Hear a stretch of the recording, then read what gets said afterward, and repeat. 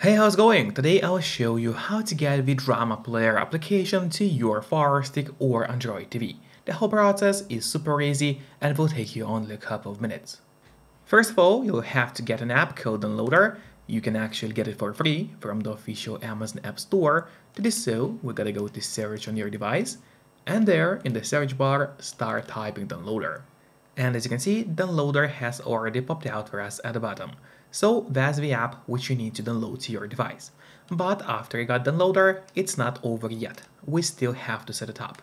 So in order to actually set up Downloader, we gotta go to settings, click on that gear icon right here, then scroll down and go to My Fire TV. Open it, and here we'll have to enable developer options on your device. But on some Fire Sticks, and especially on the new Fire Stick devices, the developer options can be hidden by default. So if that's the case, and you cannot find developer options anywhere, no need to worry, it's actually easy to make them appear. Just go to About, select Fire TV Stick, and now you'll have to click on the middle button on your remote for 7 times, and do it fast, so let's do it.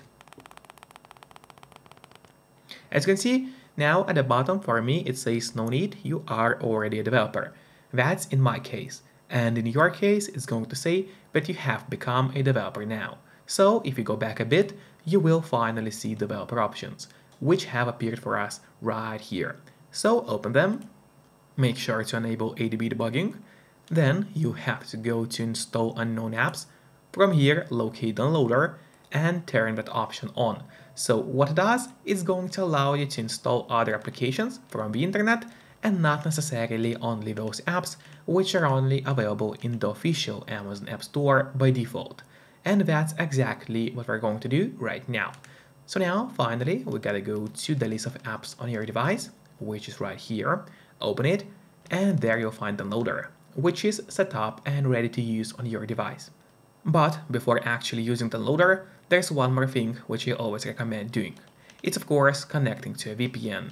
In my case, I mostly use NordVPN because they're super fast, they got a great app for Fire Sticks, Android TVs, phones, laptops, or pretty much any other device you may use.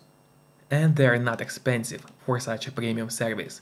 In fact, they cost less than a cup of coffee per month, which is great pricing for us, the users. In the VPN app, you just need to connect to any server. Let's say I will connect to Slovakia right now, and from the moment you connect, all your traffic is going to be totally encrypted. It means no one can track you or snoop on you online. And that's really important if you want to stay out of trouble. And if you don't have a VPN yet, but you want to try it out, I do have a great offer for you.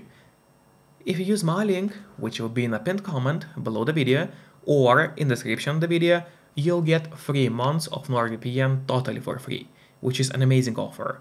And if you're watching this video on your TV or on your Fire Stick, then just grab your phone or your computer, open up a web browser and go to topvpnoffer.com. That's my website which is going to give you the same amazing deal for NordVPN with 3 months for free. Or just scan the QR code which you can see on the screen right now with a camera of your phone. It works the same way and it's also going to give you the same deal for Nord. And now finally let's use Downloader safely. So we gotta go and open up Downloader application, fire it up, and wait until the app loads for you. Then, on the left side menu, it's very important that you click on Home and not on Browser. So once again, make sure that you have clicked on Home, and then here in that search bar, we'll need to enter a code, which is going to be 2, 8, 9, 0, and 7. So once again, the code is 28907. Make sure to enter it exactly as you see on the screen, and do not make any mistakes because obviously if you make a mistake, then the link is not going to work. After that, you have to click on go and while the website is loading, make sure to subscribe my channel so you would get even more content about Fire Sticks. As well as please hit the like button below this video. It really helps me a lot and this way I'll be able to create even more videos for you. And now, after the website has opened, we just need to scroll down a bit until we find that list of categories. From here, you just gotta go to media players. So click on that button right here, and then a list of apps is going to open. And there's the Drama Player, which is the app we're looking for. So we click on it, And now a new web page is going to open, which we also have to scroll down until we find that download button right here. Let's click on it. And now you might see an ad. So if an ad pops up, just click on close or on X to close down the ad. In my case, we gotta click on X. There it is. Now the download is going to start. Usually it doesn't take long, but of course it all depends on your connection speed. In my case, it's pretty fast. Then, after the download was finished, we need to click on install and wait until Drama Player gets installed to your Fire Stick or Android TV, depending on what kind of device you are using.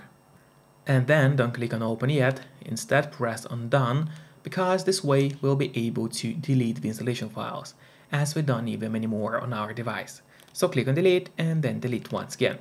This way we get rid of unnecessary files from your Fire Stick and save yourself some free space on your device. And that's really important, because by default you don't have too much of free space on your Fire Stick anyway. Then go back to the list of apps on your device, scroll down to the bottom, and there you'll find the Drama Player, which we just downloaded. Now, I would recommend you to click on the Options button on your remote. That's the button with three horizontal lines. Click on it, and then press on Move to Front. This way, Drama Player is always going to be at the very top of your application list, and therefore, it's going to be super easy for you to access the app every time you need it. Just don't forget to keep the VPN connected to stay safe and out of trouble. Enjoy and see you next time. Bye bye.